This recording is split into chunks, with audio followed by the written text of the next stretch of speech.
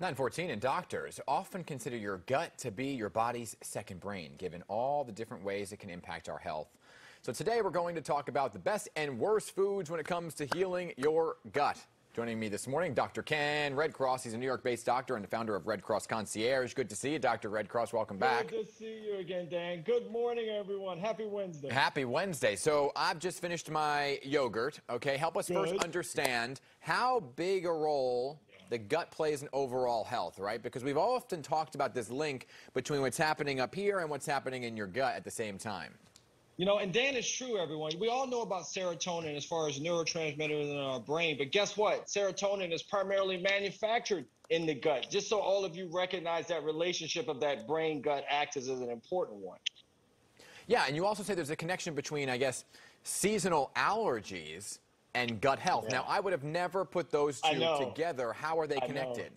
This is so cool, Dan. So the NIH did a study that showed that those who had less diversity in their microbiome were at increased risk for allergies. So they used Pro Plus Synbiotic, which has three different probiotics called the Friendly Trio. The point is, not only were the allergy symptoms improved, Dan, but the quality of life improved, which is so important for allergy sufferers, especially here in New York. So yeah, and I'm a big time allergy sufferer. Man, am I feeling it this week too? It's like I, my eyes Yeah. are. Just, I want to scratch them out of my eye sockets. So you're saying what we eat could actually Oh, yeah. help benefit your allergies? Absolutely. And look, and what we talk about, everyone, is that food is medicine. You hear it all the time, Dan, but it's true. So there are some things that we can keep in our cupboard that can make a really big difference, and there's some things that we should avoid right. that can also make a So big let's difference. let's start with the best ones, right? The best foods when it comes to gut health. You know, is the yogurt on the list? Yogurt's on the list, but I have a few more to share. Number one, bananas, everyone. So bananas are kind of that throwaway fruit you run before you go to the gym, but I'm telling you, it's doing bigger things as a prebiotic for you. Sauerkraut. The Germans had it right. Sauerkraut is good because it's fer- I know because it's fermented. Now I'm a kimchi fan, but the point is that's something to think about. And also greens. When I mention greens, everyone, green leafy vegetables, collard greens are also a good one besides spinach, and green tea. There, Dan, it's all about the polyphenols and what that actually does for your gut health. Good stuff to make sure that we kind of have in our pantry. Let's get real for a second, okay? Mm-hmm. Because the sauerkraut could also make you a little gassy. So All right. that, but that's all good. Everything's working. All systems go.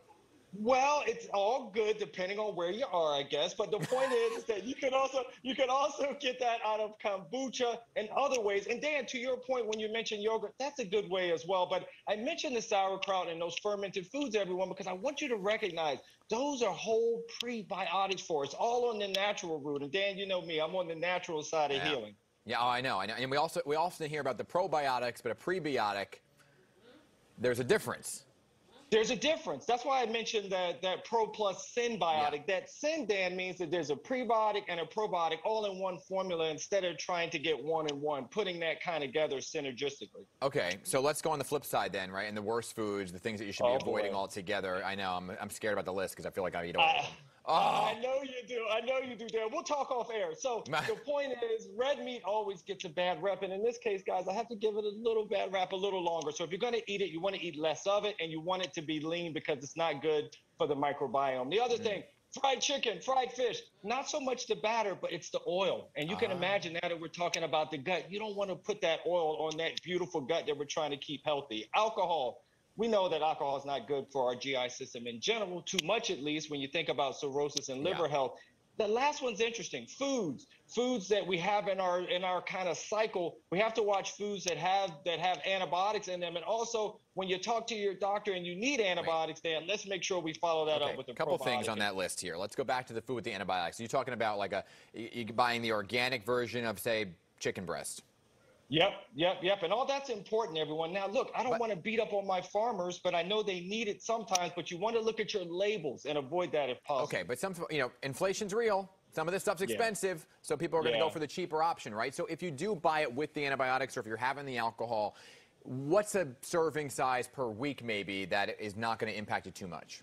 All right, so great question. When you talk about alcohol, it's only supposed to be a drink every other day or so, so whatever that averages out to. And as far as those meats, and you are right, if you can't get away from it, once again, it's about moderation. When mm. you're eating that chicken breast or what have you, four ounces is something that's different than eight ounces, what we typically do in the States. But you're absolutely right. We have to balance what we can do to make sure that we're balancing out our gut health. Because believe me, if your gut is right, Dan, your life is right as well. All right. And what's your, okay? So what should we, other things besides diet overall that we should be doing to boost our gut health? A, a workout, exercise. So, so you're always going to hear me talk about that exercise, and guess what else, Dan? Sleep. Oh, Sleep well, has been shown. You I know, me. I know, I know. You're like tapping out right Yeah. now, right? Think about it. That one night when you're out, you're not getting enough sleep. How do you feel the next morning? Your GI system is a wreck. Yeah. And that's about your microbiome. So make sure you're getting that seven and a half hours of sleep each and every day, like the CDC says, but get that exercise in as well. That brings those Mm. yummy endorphins in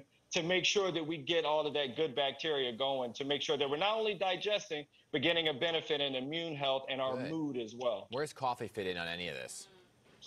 Um, not so much in this in this particular it's talk, okay. but that green tea is best. But I'll be okay with that, Dan, only because we talked Mets earlier, so I'm okay. with that. Dr. Ken Redcross, that was great. Great to have you back here. You're full of Oh, energy and good information. Good to see you.